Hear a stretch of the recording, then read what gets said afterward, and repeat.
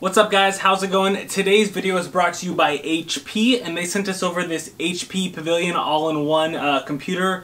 Now this is your entry-level version. They got a couple different models. This one has 8 gigs of RAM running Windows 10 and it's got a 2.9 gigahertz uh, AMD processor.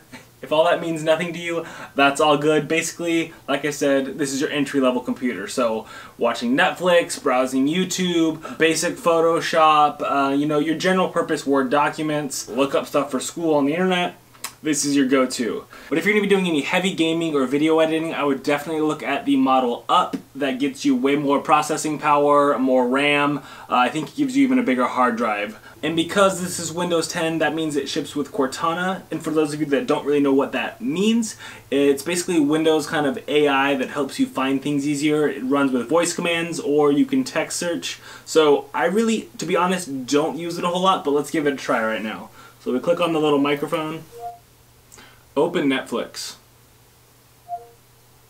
Okay, starting Netflix.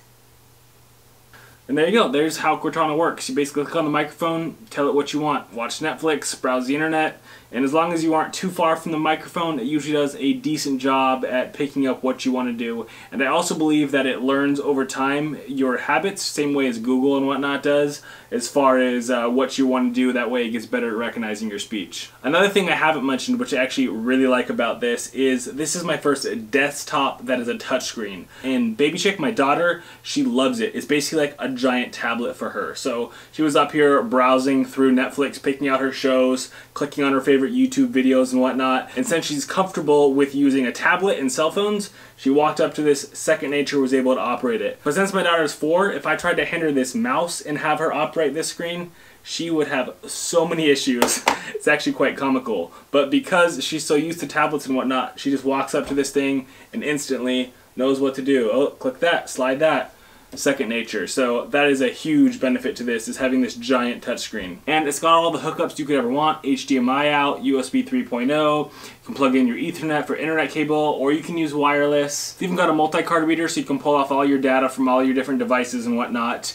But like I said, not only is it a great computer, but it looks good as well. I think they probably modeled it after the iMacs because it's got that sleek silver design with like the beveled back. So if you have your computer out in the main room, you wouldn't have to worry about it looking ugly or cluttered or anything because the only thing other than the screen itself is the wireless keyboard and wireless mouse. So it's really clean and simple to set up. So if you guys are in the market for an entry-level desktop, I would definitely check out the HP Pavilion All-in-One. It's a simple, sleek, yet powerful little computer that would fit great in any home. And if you guys have any other questions or want to look further into this, I'll have links down below to both the higher and the lower end model of the HP Pavilion so you guys can see which one's right for you. Thanks for watching guys, and we'll see you next time.